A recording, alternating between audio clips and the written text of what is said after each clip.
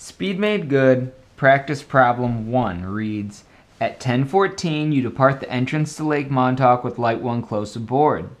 At 1230 your position is latitude 4120, longitude 7140. What was the speed made good? We are going to use distance, speed, and time in this problem. I'm going to write those down.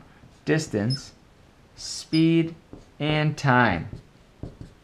Distance we're going to get from the chart. Speed is what we're figuring out.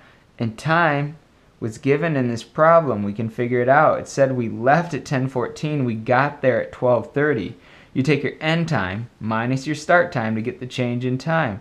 So we are looking at 1230 minus 1014 right? Yeah, 1014. Now, so we can take 14 away from 30. Just got a borrow here. 6.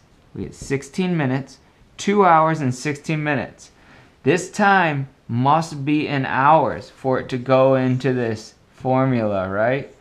We said this, distance, speed, time. Speed is equal to distance divided by time. This is just in hours.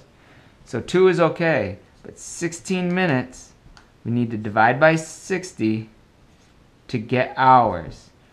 And you know what's interesting here? Remember, use your mental math. 16 minutes, we know 15 minutes is about a quarter of an hour or 0.25 hours. And 30 minutes is about half of an hour or 0.5 hours. So we know if we don't get something really close to 0.25 hours, something's going on here. So we go 16 divided by 60. 16 divided by 60 equals 0.27. Good. 0.27 hours. So we have 2.27 hours, right? Our time is 2.27 hours. Now we can get a distance off the chart we're just going to find our starting point. Lake Montauk, light one close aboard. Good. At 1230, our position is 4120, 7140. That happens to land right where a parallel and a meridian intersect. Here's 4120, and here's 7140 right here. There we are. Now we need to draw a line and measure it. Now you see this is, it's too long, right? These are parallel rules. We can just make sure they touch.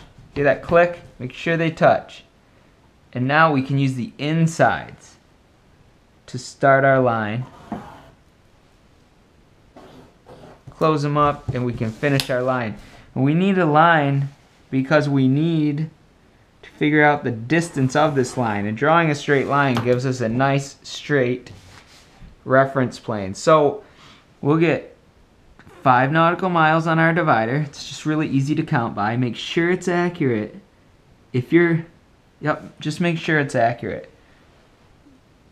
Because if you have any mistake right here in your dividers, you're going to notice that it, it multiplies. Every time you walk, that mistake shows up again. So 5 10, 15, 15 plus, just scoot it down to here.